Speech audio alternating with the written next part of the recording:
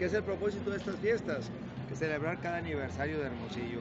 El día de hoy es Carlos Cuevas, mañana como digamos aquí en lo que es la plaza Alonso Vidal en, las noches de gala y lo mismo tenemos a Eugenia Dion mañana, después a Fernando Lima y cerrando con la Sonora Santanera, hablando de esa actividad, pero el programa es muy amplio, aquí mismo hay un módulo de información donde puede verificarse todos los diversos tipos de espectáculos, el ambiente es fabuloso, sobre todo mucha familia y todo en plan seguro, o sea, la gente pues los esperamos aquí a que vengan a disfrutar estas fiestas del Pitic, que van a valer mucho la pena iniciando el día de hoy. Eso es muy importante, ¿no, alcalde? Que sea familiar completamente el ambiente. Absolutamente, ustedes pueden pasearse por aquí, preguntarle a la gente, yo he tenido oportunidad de saludarlos, muy contentos. Ahorita aquí se está, está por iniciarse ya el evento de Carlos Cuevas, se está pasando algunos videos del año pasado y como que recordamos y otra vez volvemos a disfrutar parte de lo que vivimos el año anterior.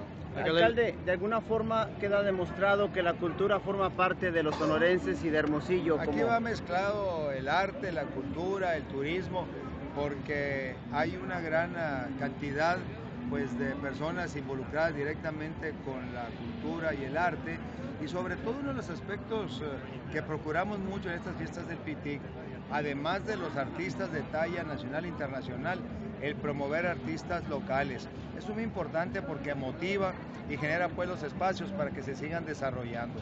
Yo creo que todas esas son las oportunidades que nos brindan las fiestas del PITIC, estaremos muy atentos, están todos los elementos de seguridad pública, protección civil, en fin, eh, esperamos que todo esto salga Dios mediante muy bien. La invitación está hecha en todas las hermosillenses de todas las colonias de Hermosillo. Pues aquí los estamos esperando, realmente lo van a disfrutar.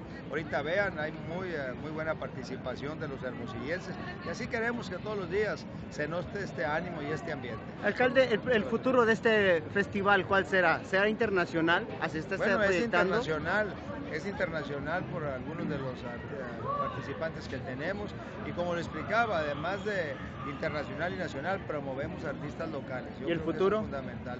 Bueno, así será también, así debe ir creciendo y nosotros pues nos queda todavía el año que entra la organización de este festival y queremos ah, superarlo, Dios mediante, pero primero hay que terminar este.